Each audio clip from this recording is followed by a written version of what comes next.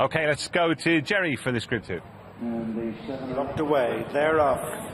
I can fly uh, a bit slower than the others to leave the stalls. This is the Group 2 Lanwades Stud Stakes over a mile.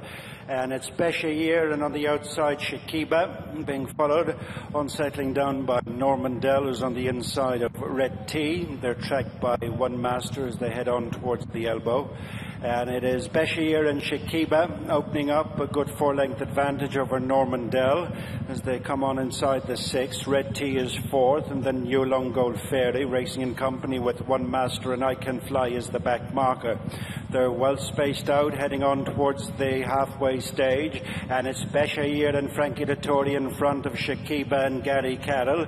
Four lengths back to in third Normandel and Kevin Manning and then a couple of lengths to Red Tea and Donnacha O'Brien and one master is on the outside of Yulong Gold Fairy. I Can Fly remains last of the seven. Racing on towards the final three furlongs in the Lanwades Stud Stakes.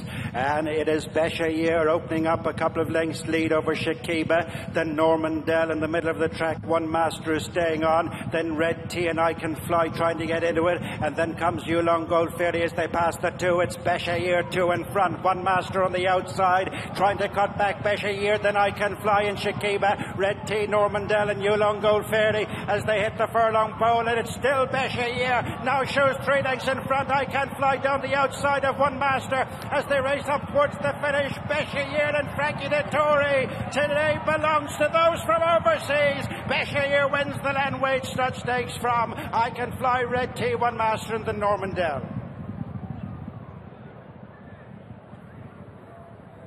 Beshaayir wins, makes all for William Haggas under Frankie Dettori. And Beshaayir wins the Lanwades Stud Stakes Group 2 for the fillies over a mile.